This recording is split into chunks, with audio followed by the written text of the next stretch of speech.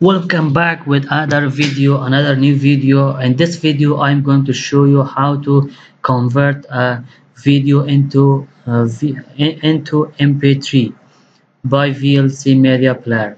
This is my uh, vlc media player. You can download you can you can download it for free uh, from internet uh, from internet.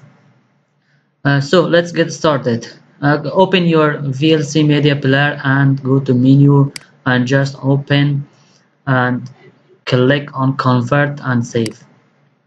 Here you uh, you have to add the uh, the video that you want to convert into mp3 there uh, there is a file i want to uh, add add uh, and open it. So there's the file is the file and uh, click on this convert and save. Uh, here just click on uh, search for mp3 yeah that's it. Audio mp3 and browse the destination that you want to uh, save the file. I want to save it on desktop by name any name but any name you can choose. I select uh, title and dot don't forget dot mp3 and save it. Just don't forget dot mp3 file.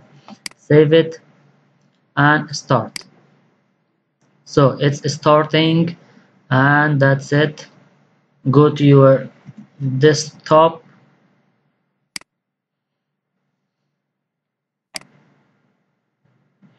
desktop. That's it. That's our uh, file. You can use it. You can uh, just you can use it. Thanks friends. Just for don't forget for subscribe share and like our videos. Thank you. Goodbye